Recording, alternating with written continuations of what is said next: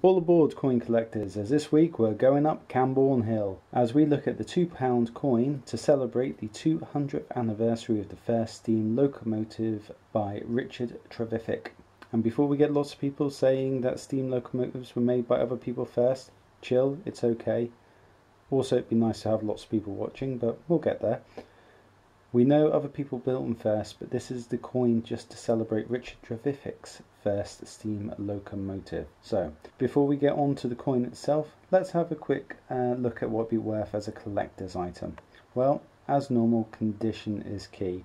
This one is a little bit worn, so that would affect the price. But looking at online, at the last five of these coins sold with this design, they went for an average of £2.46, which is about right as there were 5,004,500 of these minted, which is not low, but you still don't see many of these in circulation as you do with other coins. But if you want to add one of these to your collection, my advice, a bit of perseverance, keep an eye out, I'm sure you'll get one soon. So, I'm just going to pick the coin up, move this one back for a second and turn it over and of course we have the fourth portrait of Queen Elizabeth II.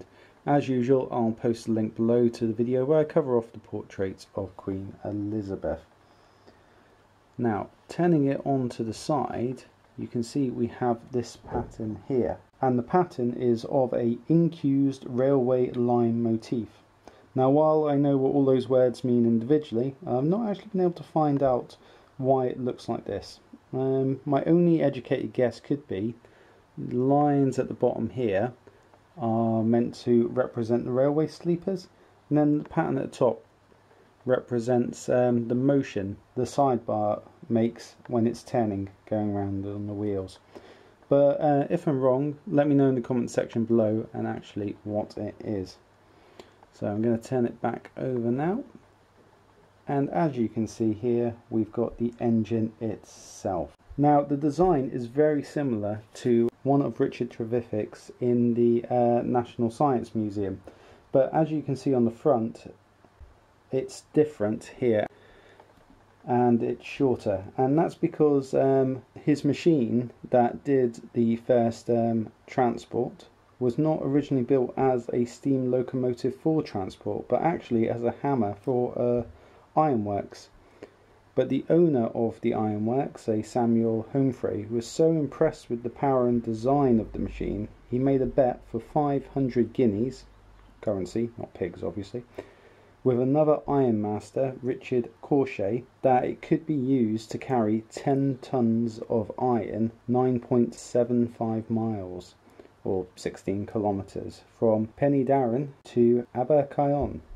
Apologies to the Welsh there for my pronunciation. And after some modifications on the 21st of February 1804, at an average speed of 2.4 miles per hour, he won that bet when an, the unnamed engine carried not only 10 tons of iron, but also 5 wagons and 70 men in just over 4 hours. So what made it more incredible was I believe this was the first time a high pressure steam engine had actually been used to carry so much, which is why we have the tribute here today. And on the outer rim, along with uh, R. Trevithick and the years 1804 and 2004, we have the words at the bottom invention, industry, and progress. One other point as well, you just notice on the outer rim of the uh, inside of the coin, we've got all these little nodges. And they're actually just to represent a cog in again another tribute to the uh, original engine itself. But that brings us to the end of another All Change review. What are your thoughts on this coin and its design? Do you have it yourself in your collection? And are there any other coins you'd like me to review? Let me know in the comments below and please like and subscribe. But until next time, Thanks for watching and keep collecting. Bye.